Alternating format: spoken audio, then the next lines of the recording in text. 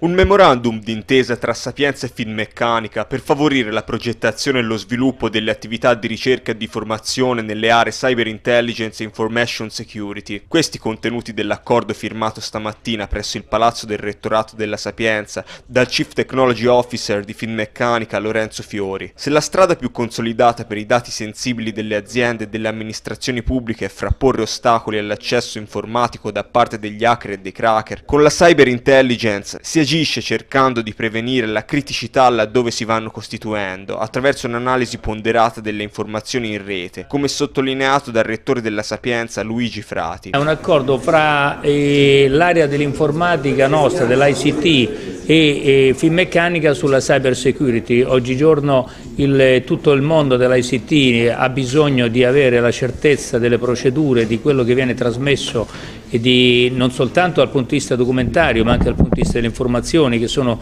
ormai quanto più vario possibile. Bene, noi abbiamo un settore specializzato su questo, la sinergia con una delle industrie italiane più competitive dal punto di vista scientifico e tecnologico nel mondo rappresenta un passo obbligato che non potevamo non fare, l'incontro fra due colossi e questo per rilanciare, eh, semmai ce ne fosse stato bisogno, comunque per potenziare lo sviluppo della ricerca tecnologica in questo settore. A parlare della cyber technology il Chief Technology Officer di Finmeccanica Lorenzo Fiori. La cyber technology è una tecnologia che nasce, se vogliamo, dalla, dal, dal, fatto che il cyberspace sta diventando una nuova dimensione attraverso la quale si possono veicolare tante cose positive, ma si possono anche creare tanti problemi.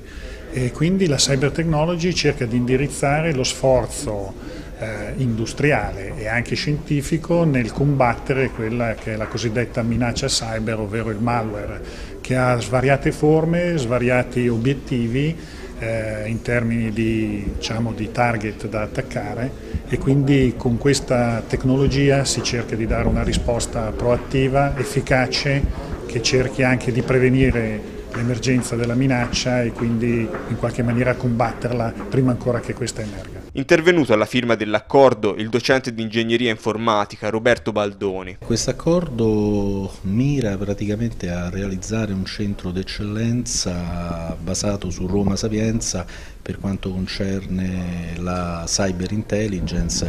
che è quella scienza che permette di eh, diciamo, collezionare eventi che accadono nell'ambiente che può essere fisico o un ambiente internet, eh, correlarli tra loro e dare informazioni di più alto livello a, a dei decision maker che possono poi prendere appunto le loro decisioni basandosi su un'informazione più completa.